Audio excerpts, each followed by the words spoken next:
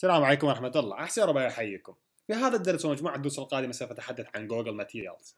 جوجل materials هي مجموعة أدوات طورتها جوجل اللي جعلك تحس انه إنه هناك يعني هناك 3 D في التصميم. يعني هناك اذا اذا إذا ترى مثلا text box تكون متقدمة للامام يعني بتصير 3 D ذلك ذلك هي هذه ال materials أصدرت في إصدار 21 وفما فما فما, فما بعده. لكن يكتب جوجل material my application وعندما أقول له next عند اختار application يجب أن تتأكد انه هنا 21 API 21 فاقل لا, يعمل عليها. ذاك ابدا next ثم اشغل الآن بينما هو يقوم بتحضيره سوف يستغرق بعض الوقت حتى يقوم بتحضير التطبيق لي. الآن هو التطبيق أصبح جاهز. اذا بما أن التطبيق أصبح جاهز سوف أبدأ بالعمل. بداية أنا أتعامل مع material لذلك سوف أقوم بعمل فد file اسميه colors. فيه الألوان وأخزن به مجموعة ألوان لاستخدمها في ال materials. أنا الآن جلبت هذه الألوان التي أحتاجها أنا وضعت لك هذه الألوان مجموعة من الألوان. أنا اختاريتها بنفسي. إذا أنا سوف أذهب إلى ال style لأبدأ بالتحكم. إيش؟ بالتحكم بال theme ال app theme نحن نعلم إنه في ال manifest يوجد شيء اسمه style style app. هذا ال style يأخذ من أين؟ يأخذ من app theme. app theme أنا بنتحدث عن 21 فهو هذا ال 21 فمن هنا نتحكم به دعني أغير لك هذا ال style إلى style جديد أنا جهزته وأشرح لك تفاصيله. الآن أنا وضعت app theme وضعت لك اندرويد style أخذت لك ماتي theme dot material dot light dot إذا سوف أشرح لك عن بعض الأجزاء التي أنا وضعتها.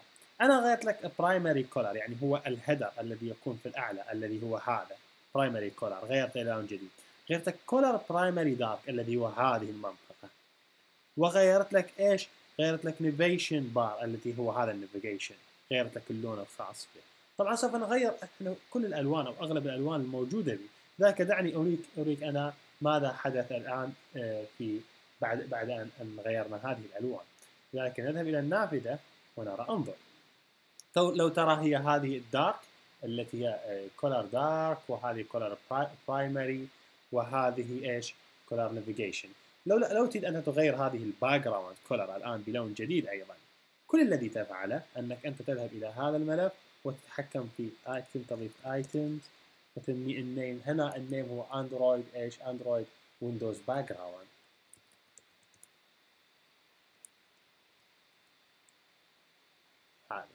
هذا background يعني اللون الخلفي للشاشة. فسمي add color أي لون أنا أريد أختار مثلا red آه، الآن سوف يكون اللون الخلفي للنافذة هو red انظر بهذا الشكل. لونه ريد اذا الآن تريد مثلا تتحكم بأمور أخرى مثلا تتحكم لون الخط في هذا في هذا ال header. طبعا أيضا تستطيع أن تتحكم فيه من هنا. أنا هنا أضيف لك إيش؟ أضيف لك items أضيف لك ال name الخاص باندرويد إيش أسميه؟ text text color primary text color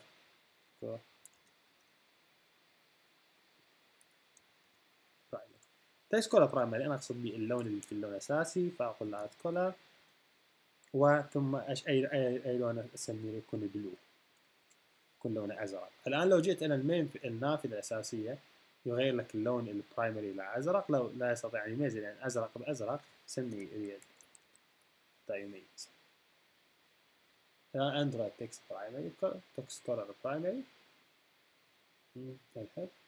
الآن لننفذه واريك النتائج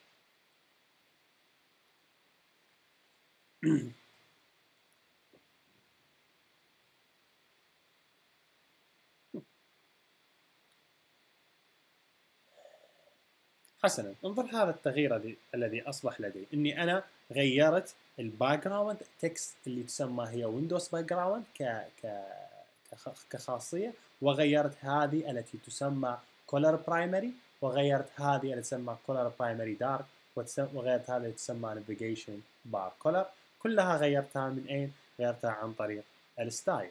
طبعا هذا ال style الإصدار 21 فقط لذلك يجب أن تنسخه وتضع نسخة من عنده في هذا الإصدار ال style الاعتيادي للمستخدمين الاعتياديين الذين يستخدمون إصدارات أخرى. اذا هذا كل ما في هذا الدرس. نلتقي في درس أخرى لتفاصيل أكثر عن color عن جوجل ماتيريالز.